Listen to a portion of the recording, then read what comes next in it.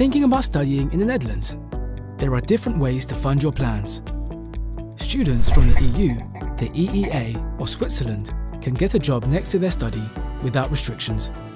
In specific cases, you may be eligible for student finance from the Dutch government. You also have the opportunity to apply for scholarships. A scholarship is a form of financial aid for students and are granted on the basis of various criteria. You can apply for multiple scholarships at once.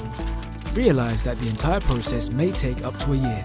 If you have found a study that you like, use studyfinder.nl to check which scholarships are available for your program.